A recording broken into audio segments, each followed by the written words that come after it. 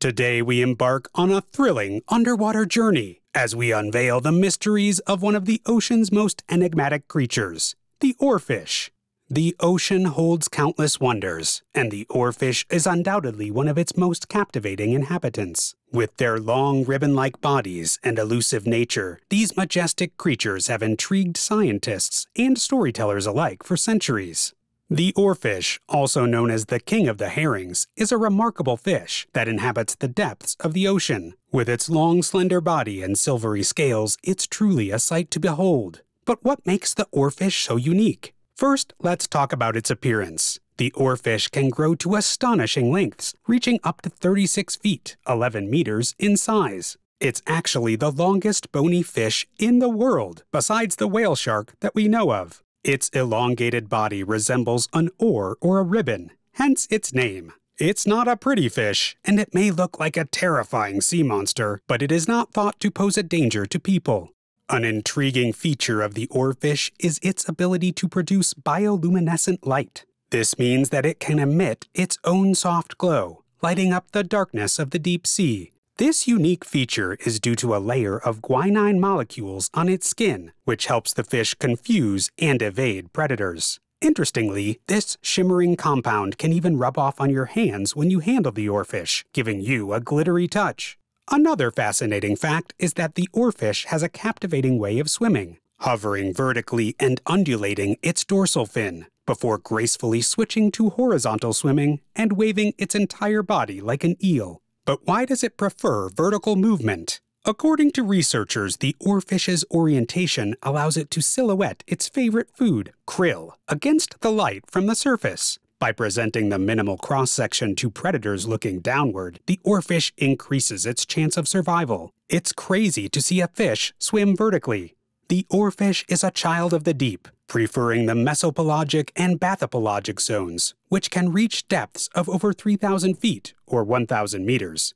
It's rare for humans to see an oarfish since they rarely come up from the depths. These regions are shrouded in darkness, with immense pressure and scarce food resources. Yet the oarfish has found its niche, surviving in this extreme environment. However, while the oarfish has long been associated with the deep sea, scientists believe it may not be restricted to that zone. Many sea creatures, including the oarfish's favorite food, krill, are known to migrate vertically, dwelling in the depths during the day and moving towards the surface at night. It's possible that the oarfish follows these patterns in pursuit of its prey.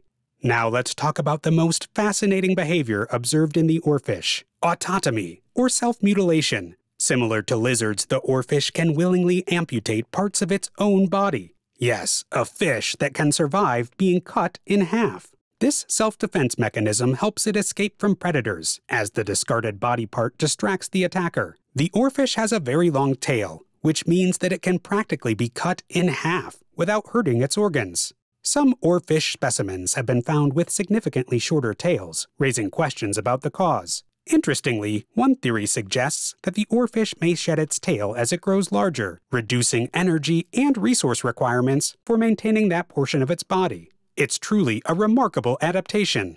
Now you may think that if it can survive after being cut in half and then go on and produce offspring, would this be considered as an unlimited food source? While it's an interesting question in theory, it's doubtful that an oarfish being cut in half and put back in the ocean will survive. Also, people have tried eating them, but describe the flesh as flabby and gooey. An account from 1798 claimed that not even dogs would eat the flesh, either raw or boiled.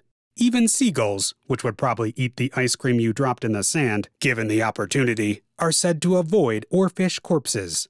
There are many tales and legends about the oarfish. Because of its long body and the rare oarfish sightings, sailors who didn't know what an oarfish was have mistaken the fish as sea serpents from myths and legends.